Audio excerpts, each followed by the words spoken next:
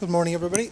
Thank you, Rod. Um, so today's topic, um, I'm keeping it deliberately broad because physical activity is probably at the core of a lot of our um, specialist areas. Um, and I guess this reflects probably some of um, some of the mistakes, the many, many mistakes I've made myself in the past.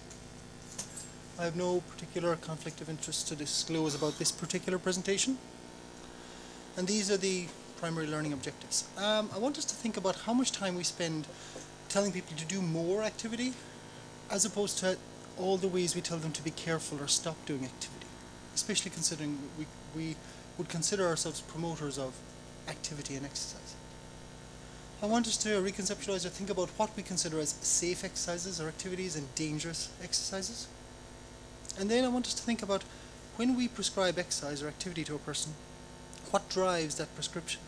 Is it based on systematic reviews and trials? Is it based on the fact that I like swimming, so make them all swim? Um, is it about what the patient wants to do themselves? Um, in terms of presentation, lots of people have contributed in the in um, forming this presentation, but I'd particularly like to acknowledge Tamer and Diane who work with me in the Spine Centre.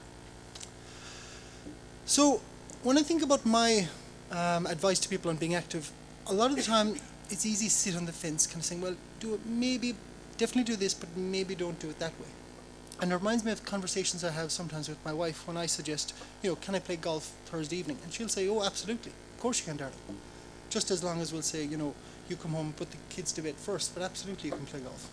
And that kind of means it's, well, it's a, yeah, but I know where, you know, the terms and conditions apply sometimes, and that's fair enough.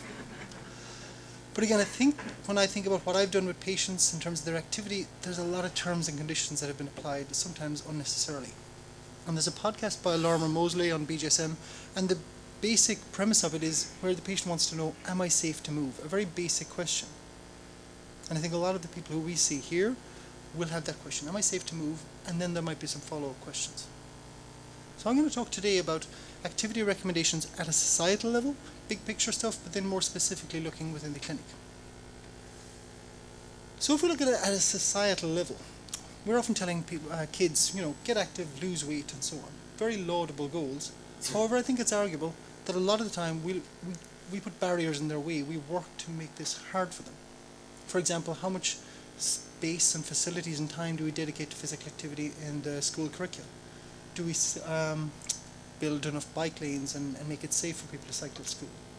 And do we worry uh, about very basic common forms of physical activity? So if you're a child going to school, one of the easiest ways to um, expend some energy is to carry your school bag.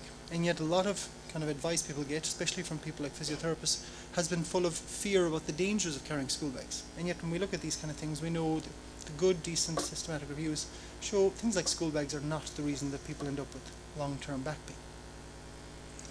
So if you're an adolescent in Qatar or in Ireland or anywhere, how are we, how much time are we spending uh, scolding you for not being active and not being lean enough, and yet worrying about very basic, simple forms of physical activity? And then when we read the media, a lot of, you know, much and all we'd like to pretend that our patients' beliefs come from us in our 15, 20 minute consultation because, you know, it's that magical the moment. A lot of the time people will get their beliefs and opinions based on the media.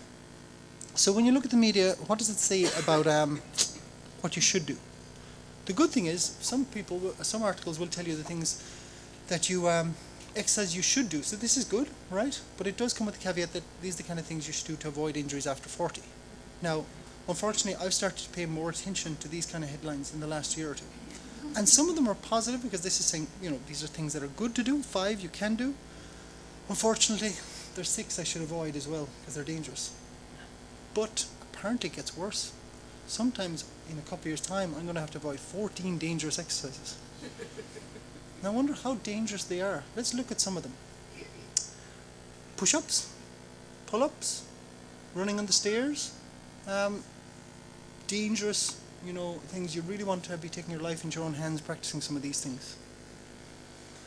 And then there are other things where we, we can acknowledge that some exercises make people sore. So a lot of people will report back pain when they do sit-ups. You know, that's probably true. However, rather than saying, you know, if they're sore, here are some other exercises you can do, it's often tied up in the idea that these, this particular exercise, this deadlift or these crunches are bad for your back. At least though here they're giving them some alternatives. I really like walking. I think it's a great thing uh, as a kind of an accessible and cheap way to get people active. It's wonderful. But even when we talk about things like brisk walking, it always comes with the message that other types of exercise might be dangerous. So walking is low impact. Yeah, that's not a bad thing, but does that mean high impact exercise is bad? So running up and down the stairs, doing squats, that might have a bit more impact. That doesn't mean it's dangerous. And some of the recommendations, like how am I meant to avoid ever twisting my knee? It probably sounds like a good thing that I, you know, I wouldn't go out to choose to twist my knee, but is that a really a useful thing to tell somebody? So in terms of the, if we think of the patients we see or our family members, when they get physical activity advice, a lot of it is mixed. We're telling people be active, but then a lot of the time there's a lot of terms and conditions applied. Now, what about in the clinic? I'm going to briefly mention a case now, we'll come back to it later on. So, around this time of year, this would be a typical case we'll see in the spine centre. A 19 year old footballer, um, first episode of low back pain um, in the last while, in his third week of pre season training or return to training. It's localized back pain, nothing referred, and there are a few particular things that make it sore, like running and bending backwards and certain types of gym exercises. But again, some good stuff. He doesn't have any resting pain, um, and once he relaxes, he has he has no problem finding positions of ease. He has got some bone marrow edema in the lower part of his back. Um, I want you to think about what type of advice around activity he would possibly get currently, and how you would phrase that. First, a question. Um, what activities would you say are totally dangerous that nobody should ever do? They're that dangerous. Russian roulette. That's pretty dangerous. I would agree. Any others? And then would you feel that we'd need to uh, recommend somebody? I know you're probably thinking of Russian roulette, but just don't. what activities are totally safe that you can say and guarantee a patient you will never get sore during this exercise? So we're left with a lot of exercises that aren't, they're neither very, very safe, you'll never get hurt, or they're the worst thing in the world. However, there are some common themes. If we went out onto the streets of Doha or Limerick, what kind of activities do patients often say, or athletes often say, mm, I did this activity this exercise, and that was a mistake because that's a dangerous exercise? Bike? Yeah, and some people will say that for sure. But yet, I bet you there's other people say, well, the bike is wonderful because it's not like that other naughty exercise that's dangerous. What, what else? Lifting weights. That's the devil's work in, in some ways.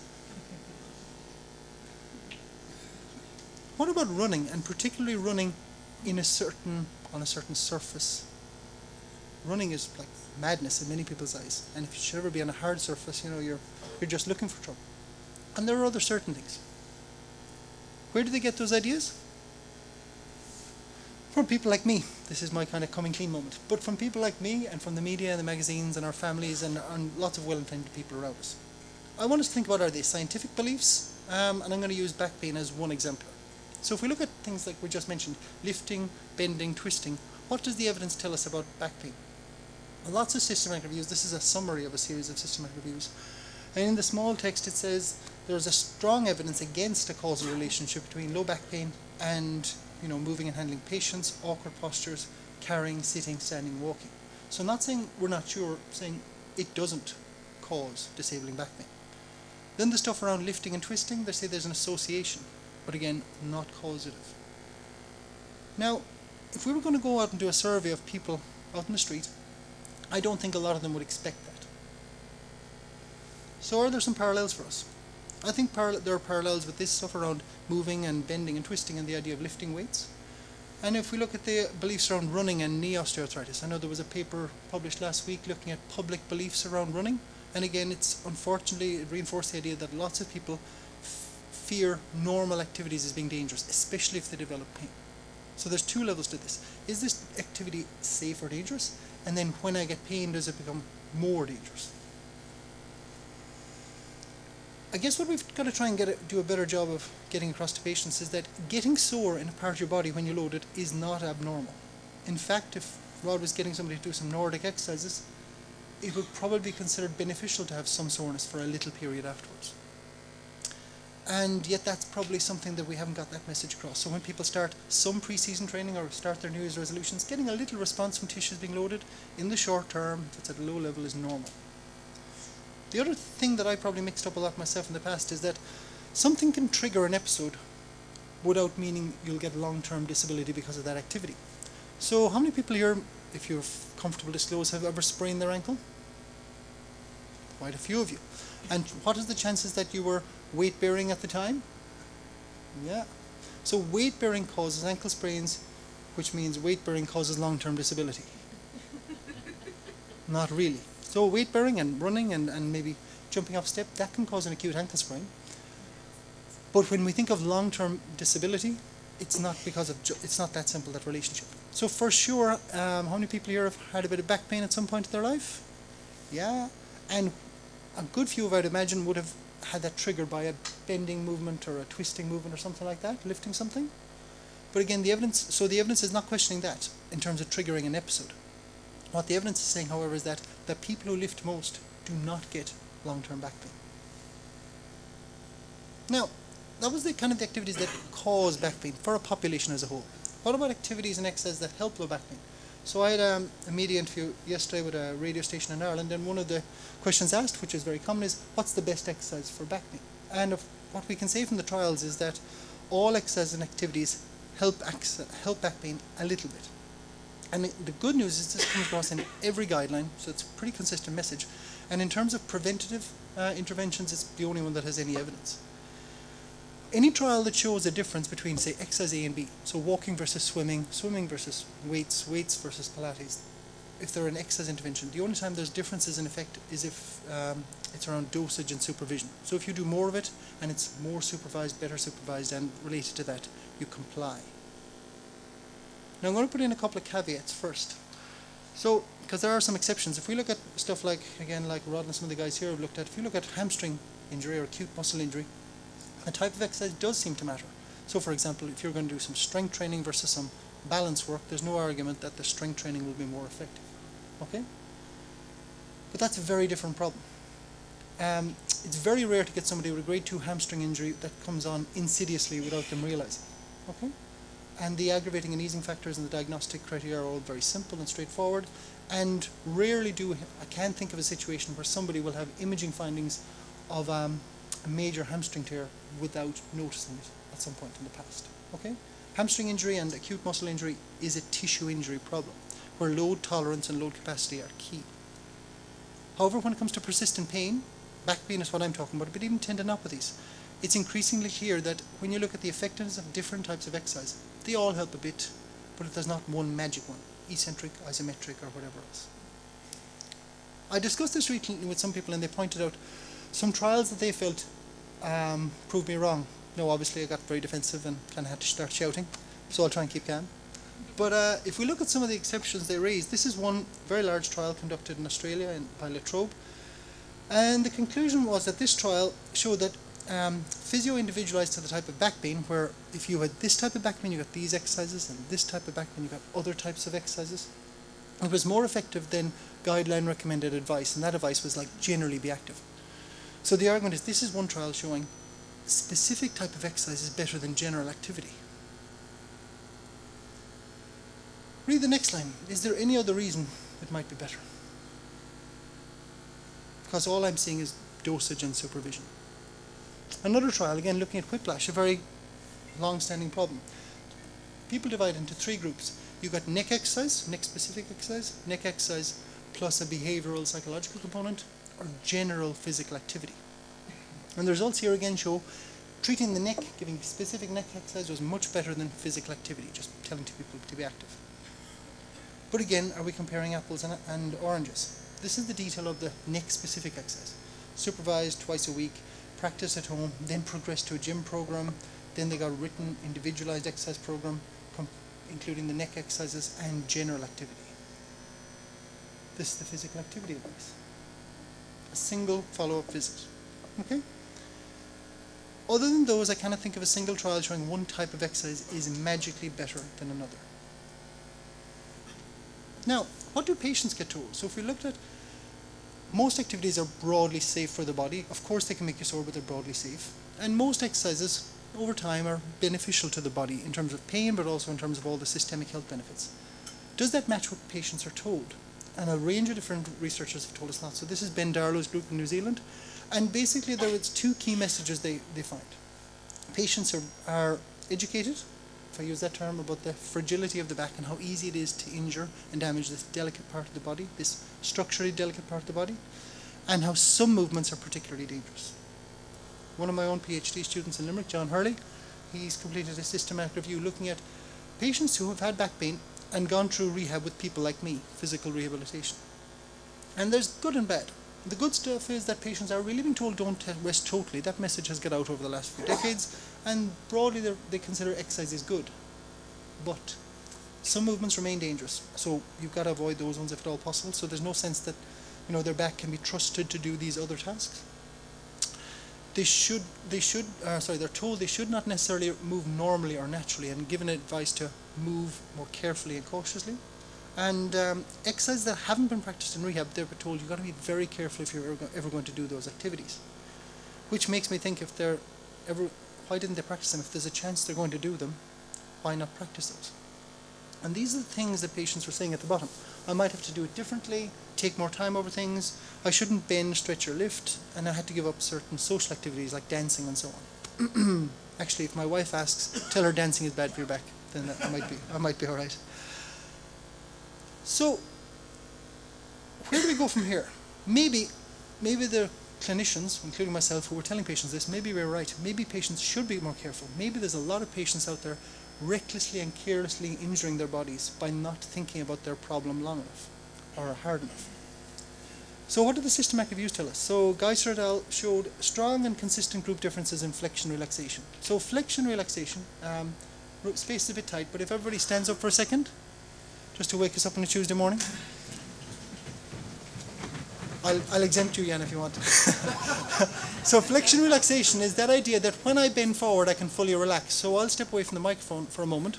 But essentially, what um, it's the idea that when I bend forward, my back and my tummy can fully relax.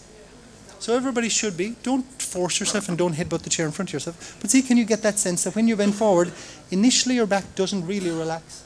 It only relaxes and when you've, back, when you've no back pain, it's a very easy and natural thing to do. You don't have to think about it.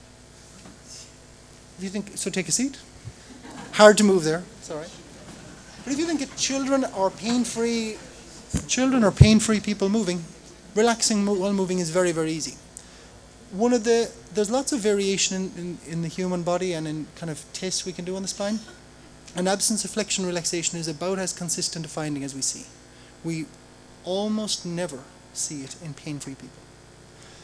Secondly, um, Rob Laird and Peter Kent, they've um, shown in their, in their review that people with back pain move more slowly compared to people without low back pain. So again, you could argue maybe that's the right idea, but it doesn't reinforce the idea that they're not being careful enough already.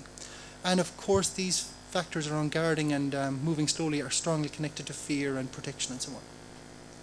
Now, I used to think that, well, that's okay for persistent pain. When it's been there for three months, maybe they should get over it and kind of you know, stress their body a bit. But in the early stages, surely in the first week or two, or three, however we define acute, they should be very, very careful. And of course, I'm not in any way suggesting we should force the body through pain. What I'm suggesting is should we explore how much movement they can do? Because even in subacute pain, fear avoidance beliefs are prognostic. In other words, those who are most fearful in the subacute phase are more likely to not recover.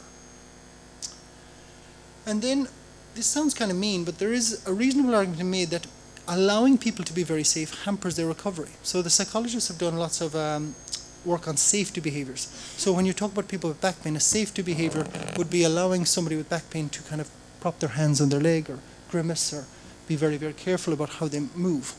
And what we know is that oh, we learn a lot of, of, of um, new things to exposure, through practicing it and exposing it. And if you expose people while, while letting them keep going with the safety behaviors, they don't learn as quickly and they don't recover as quickly. So that can sound quite confrontational, and of course you have to handle that situation sensitively and carefully. But allowing people to keep practice safety behaviours, if you're happy that the body can tolerate the load, mightn't be a good idea. And while I'm talking, I guess, specifically around back pain, uh, Sean McAuliffe, uh, we all know, has done a lot of work on the Achilles tendon, showing these um, fear can be a, a common um, factor. Now, what about from a sports and exercise science point of view? What do we know about the safety of activity? Um, because the body's not that fragile, not even the spine, and in fact, when we look at some of the work by people like Tim Gabbett, it appears that it mightn't be necessarily specific activities, but the parameters of activity that are dangerous. So, for example, running fast is not necessarily dangerous, but if you haven't run fast for a long time, then sprinting for a, in a very very hard session, that carries some risk. And so, looking at um, not just kind of like the activity like bending or lifting or twisting, but how much and at what weight or what speed, that seems to be far more useful. And that requires a little bit more delving into their history. Because again, not being used to the uh, used to the activity is the risk, rather than in the activity itself. And this is why I think we see a spike in a lot of injuries around preseason and in New Year's resolutions and you know every time we're going to turn our life around with the latest self-help book. It's good for business. Um, so again, looking at my own practice, and I'm putting in brackets my question mark previous practice because I hope, I wouldn't guarantee, but I hope a lot of this is in the past. But uh, a lot of it reflects uh, a famous Irish comedy called Father Ted. Anybody familiar with Father Ted? So it's a um, famous comedy off the west of Ireland, and in that comedy, there's one episode where the two local Catholic priests are told that they must protest against a film being displayed in the cinema, where the film is has some scenes of an adult nature, so they have to ha- have a protest with signs saying "Careful now" and "Down with this sort of thing." But of course, the only effect of that protest is that people pay more attention. The more you kind of warn people about the dangers sometimes, it's a bit like, you know, don't think about elephants. It's very hard to not think about. So in my practice, I would spend an awful lot of time to people. I thought I was kind of encouraging them. I would write down in my notes advice and education to be active. But then I'm pretty sure if I audio recorded it, it would have been primarily scare stories about the dangers of insert the activity you want bending, lifting, twisting, weights, whatever. So I spent too much time telling people what to avoid rather than what to do if I told them to be active, good, I'd be very proud of myself, but there were so many terms and conditions applied. So swim, but don't do the breaststroke. Run, but only run on this surface, and so on. Which, again, might be useful sometimes, but for how long? Critically, I didn't emphasize the timelines for reduced activities. So if I said to somebody, look, we're going to back off your running because your back is a bit sore and that's making it, that's making it painful, I didn't say, but we're only doing it for this week in the short term because there's nothing dangerous about running. You're just a bit sensitive to it, you seem to have overdone it, and we're going to do these other things instead. Uh, the effect uh, was probably that I became, I turned patients into a chronic rehabber, as described by Rod and Tim Gabbett. And you know, we spend a lot of time talking about yellow flags in patients with back pain, but I was yellow flag. I was creating part of that chronicity. I did it for my own back pain better than anybody else, so at least I suffered a little bit from my own stupidity. Um, and again, there's a time to be cautious. So if you look at the text on the left, you know, that seems reasonable. But what's the logo down here about? Fear everything. now, I think there's nothing wrong with the advice on the left. So I'm not in any way trying to give the message that we should tell everybody to just move with abandon and throw yourself at it. But I think deep down in our belly, we sometimes have that approach. And also, there's, look, there's a lot of reasons for that. We, the best interest of the patient, but also we're probably pushed towards defensive medicine sometimes in terms of like the, the fear of litigation and ever, ever missing anything. Now, there's lots of issues in terms of my rehab, but Adam Meakins, who some of you will know um, from Britain, he's talked about the physio rehab trap um, and how a lot of physio rehab can be very complicated but not really dosed adequately and not very practical and can have a lot of nocebic or frightening language. And while, of course, there can be times when we overload patients, especially very acute reactive situations, we, you know, obviously we need to step back sometimes. But the question is for how long? And I would say there's still probably a bigger issue of underloading people. And again, if you think about the loads, if say if we've got that case with back pain, at some point he's going to go back playing football. And I want you to think about the physiological load on his body when he returns to training and when he returns to play, and contrast it with what the load on his body is when he's in rehab or when he's in physio. How stressed is his cardiovascular system, his musculoskeletal system? So, after a patient sees me, and I would ask you all to think about this, after a patient has seen me, what will they be saying? Will they be saying, I saw this charming, good looking Irishman with lots of hair? Um, how is what they heard influenced by me? So if I use the exact same words, if I have a script and I use the exact same words with two patients, what other factors might influence what the patient says about me? What could I do differently? My body language, how rushed I am, how much time I am, how stressed and tired, and all those factors can be involved. But probably at least as important is some characteristics of the patient. So I've had patients where I think I've given them very reassuring information, but I didn't necessarily check. So I, I, particularly if you've got somebody who's naturally or by their disposition a little fear, fearful, worried, anxious, maybe inclined to catastrophic thinking, I can give what's what I think is a very benign piece of advice around just be a little careful with X. And people can often say, well, that's it, I'll never bend again for 20 years because something awful might happen. And particularly when we think about the context in which we give our treatment, I'm thinking here about the clinic, but also thinking if you're in, a, in the field with the SNP or in a club, and if this, the whole context around an injury or a pain is threatening. So poor relationships with, relationships with the medical team, the coaching staff, a lack of trust. Um, there's quite a bit of experimental evidence showing a threatening social context increases pain-related fear. And while nobody wants that, I think we underestimate the role of that context and the trusting environment. So some common stories people say, they'll say, you know, my back is stuffed, for lack of a better word. It's the fault of X, and that could be the coach, the physio, the personal trainer, or the activity, like they made me do that awful thing, you know, bowling, football, deadlifts, or whatever else. A lot of the time they'll say I must modify that activity, which might be okay as long as there's, you know, if it's something they want to do at some point in the future, they've got to go back to it.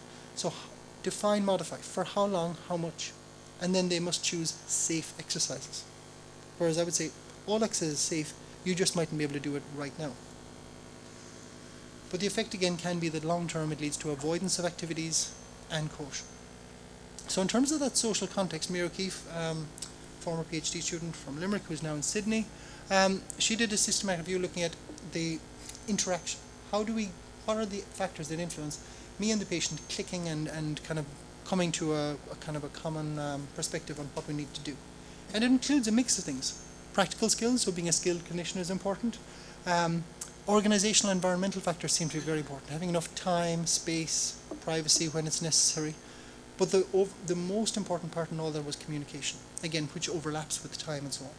So if we want people to have a clear understanding of what we want, to tell them about activity, and for them to tell us exactly what they're doing, time and communication seem to be key. So what exercises do I give people? this, um, first of all, this trial sums up what a lot of trials are showing. Comparing three different types of groups, and if, again, as is always almost always the case, there was no difference. So they found there was three things you'd probably want to consider. Preference, cost, and access. And when it comes to preference, they meant what the patient or athlete prefers. Is that always what happens? In fact, there's quite a bit of evidence suggesting that if I like doing weights, my patients will do weights. There's nothing wrong with weights, but is it what they want to do and what they need to do? Um, and even if it comes to like looking at um, whether GPs give lifestyle counselling advice, we know that there was a recent paper again showing GPs who do exercise are much more likely to prescribe exercise. So that's good, except it's a shame that the inactive GPs allow that to influence their prescription as well.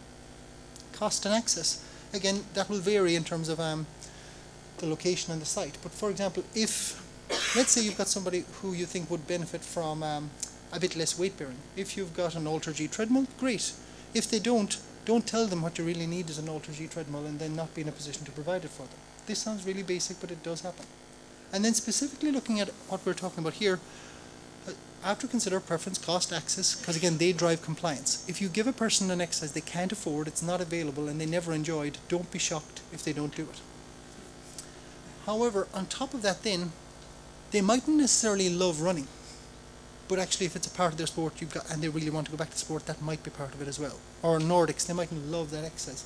But if it's part of it, that can be built in as well. But in sport and life, you might have to do some of these dangerous things because you can't avoid them forever. so going back to the case, 19-year-old footballer, he's got sore recently.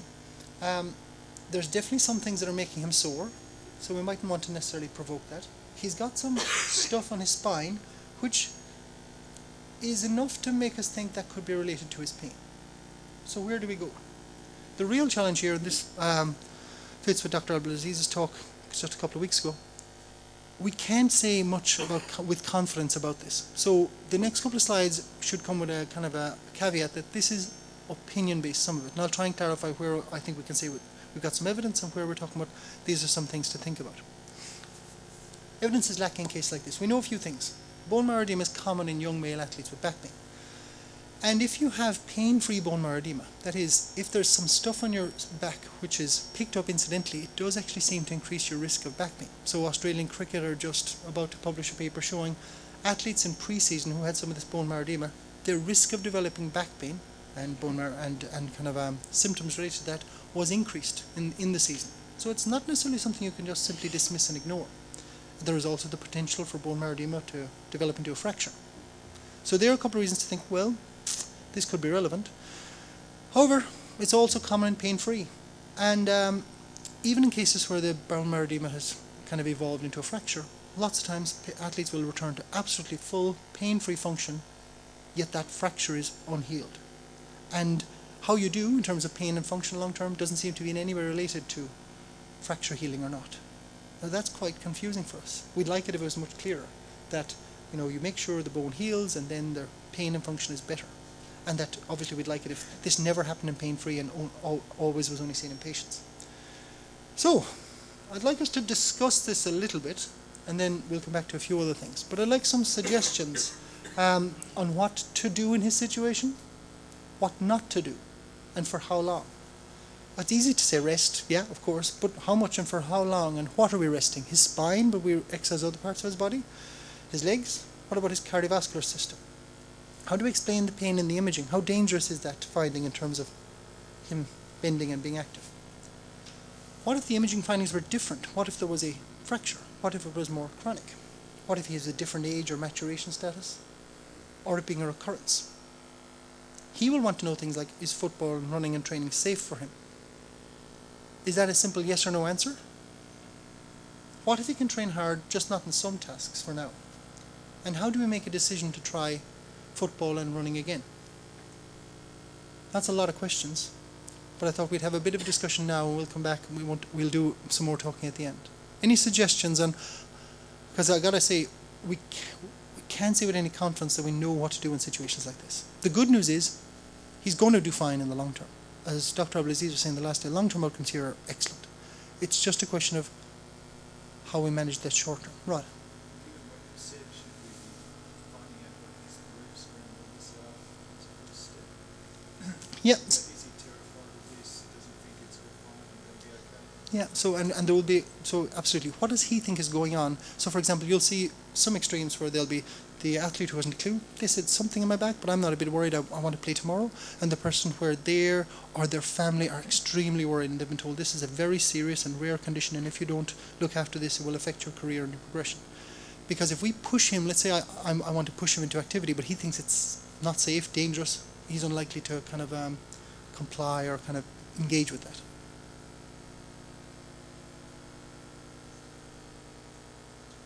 Any other thoughts or questions? Don't all jump in at once. Okay, so I'm going to talk a little bit about some of the work Rod has done. If it was his hamstring, would we do any of these things? Suggest he avoid sprinting forever. Suggest he be sorry be very careful sprinting from now on. So or uh, and progress the activity based on imaging. And I'd say there's no way would we would do that. I hope. um, in other words, we wouldn't tell them, oh, don't ever sprint again, or if you go sprinting again, be really careful. Think about your hamstring all the time when you're sprinting. That'd be pretty hard to do, by the way. Um, and we wouldn't progress the, the return to play and the progression of criteria based on imaging. That doesn't mean you're ignoring the tissues, however. That doesn't mean Rod gets the athletes out sprinting on day one. Okay?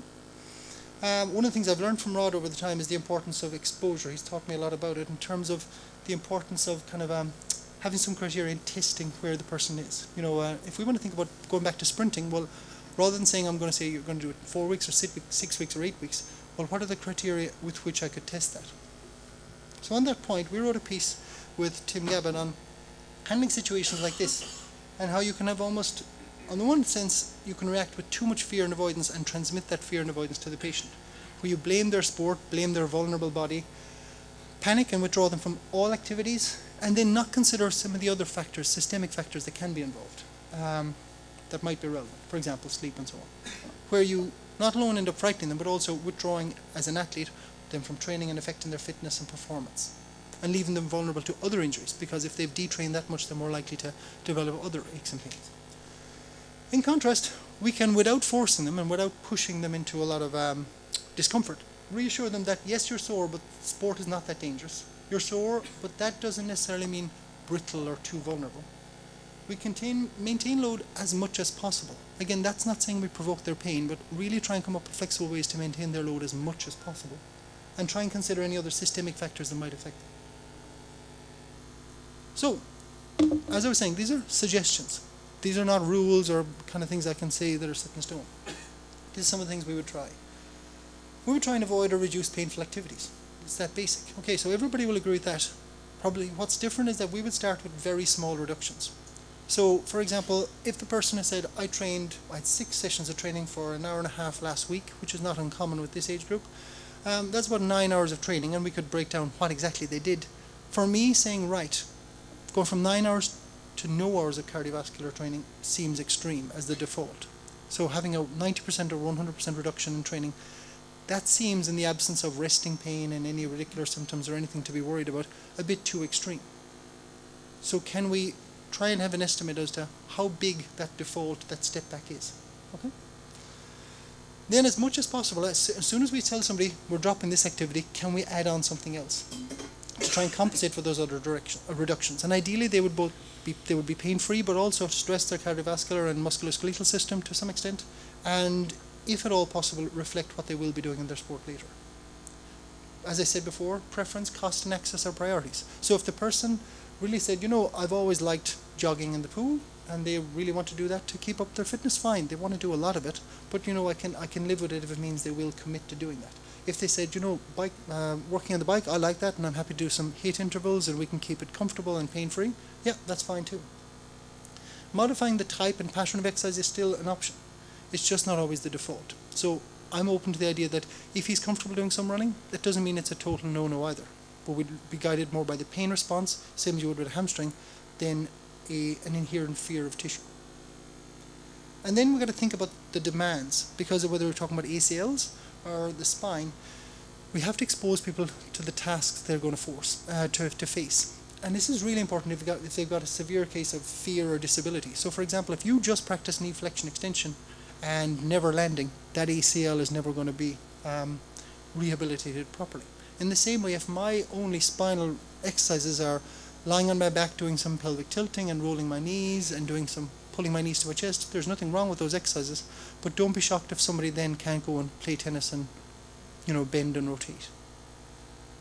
And so while we think about these things in terms of activity, and uh, I just have some of these people. So Derek is some guy, Derek Griffin, who's um, been very useful for me in my understanding of exposure and generalization. And then these are some colleagues of mine from Limerick, so Roisin Cahalan, Michelle Biggins, and Richard Johnston. And the three of those in their PhDs are looking at the role of factors such as sleep and mood in terms of developing aches and pains. So, for example, Roisin studied dancers, and she found, amongst all the things like fluctuation in load, which is really a risk, um, sleep was also a very strong risk factor.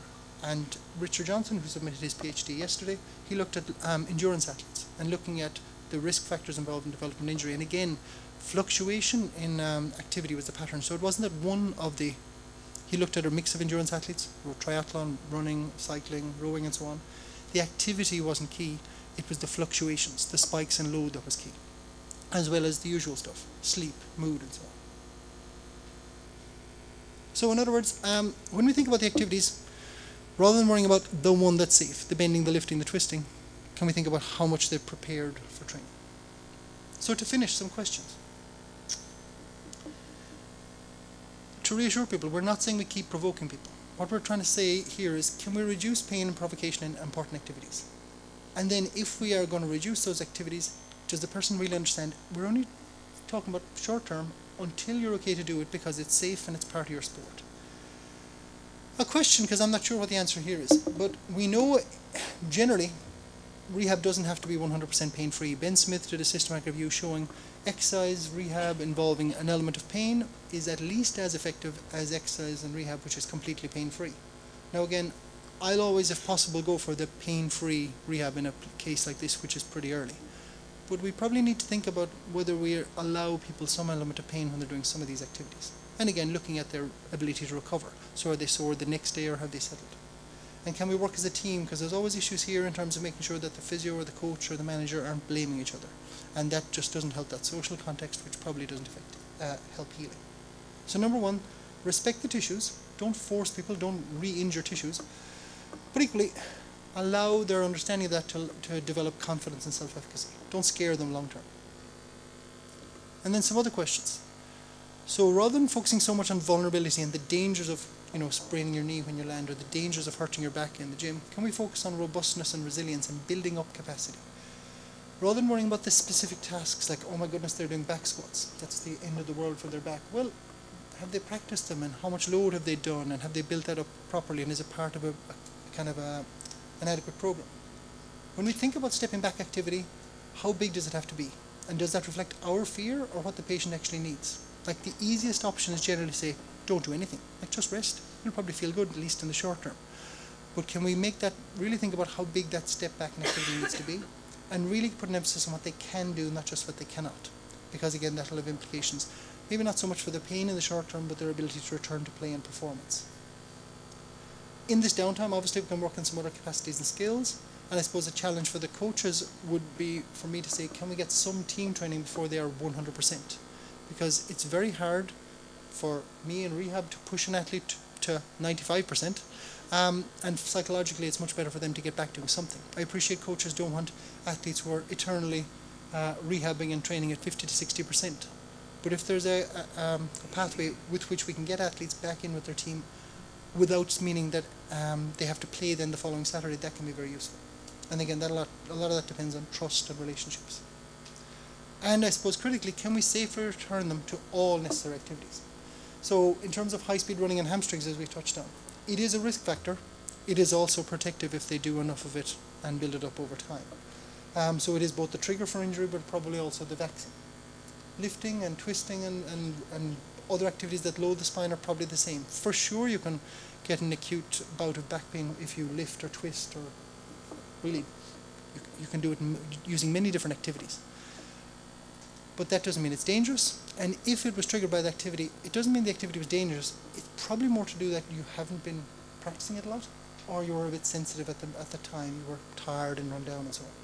So when we're thinking about that rehab avoid big drops in performance to keep them healthy happy motivated so that they don't fear pushing themselves in the future. In conclusion if we tell people to avoid an activity don't be shocked or blame them if they do what we ask. Exercise is almost always safe. Uh, when it's not safe, rather than blaming, you know, the swimming or the running or whatever that was, it could be, but also just consider the context. Had they been conditioned? Is this an unaccustomed or not? I think it's a very high bar. You want to have a lot of evidence and a lot of confidence to say, you know, uh, Matt, you should never do this exercise again.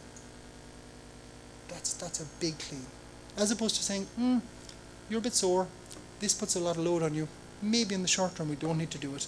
And then if you never actually really need to do a, that particular thing again, fine. But if it's part of living a normal life or part of your sport, they've got to do it. And I guess the key thing I'm talking about here is if we're going to reduce or modify load, does the athlete and probably family and coaches understand why and for how long and what they can do instead? Is it just rest and wait for it to happen? Have I made them feel threatened and vulnerable or reassured that yes, it's sore, but it's not serious? And do they understand on how we decide on progress and return to play? Do they leave me thinking, well, as soon as the picture looks good, it's all hunky dory? Or are they understanding, no, it depends on how I can kind of, how much load I can tolerate? And I guess the critical thing is, have I checked? Because this has been a big learning experience for me. I would speak to people in my best fast Irish accent and then be shocked that when I checked, they didn't understand what I said and it still happens an awful lot. So really making sure, again, it's hard with time and sometimes hear language difficulties and so on, but really checking what did you take from today and how would you explain it to somebody else. Essentially, if we're ever planning on doing an activity, if I ever plan on going rowing, practicing rowing mightn't be a bad thing to do. If I ever plan running, running mightn't be a bad thing to do. Um, so look at what your athlete or person needs to do and then rather than scaremongering them about the dangers of standing or walking, whatever it is, try and see if we can, in the medium term, build up their capacity to do that. And finally, to go back to the societal stuff, consider how this applies to pain-free populations, who admittedly are not your focus now, but we'll all have family members and children and so on. How this applies to health promotion advice, very well intended advice around the danger of school bags, ergonomic advice that your desk must be at this angle, never this angle obviously, the world will end at this angle, and uh, manual handling and so on. And how it applies to you know the dangers of warning about the dangers of running in schools, insurance issues, cycling to school, climbing trees, and so on. These things there is an element of risk in them, but to avoid all risk is to not live a fulfilling life. I would say. Uh, I'd like to thank all the people who have contributed to my work. Um, we have a website which some of you will know, which will have some of the information. And if anybody wants, I'm more than happy to um, send on the slides and references. Guru um, I'm happy to take any questions.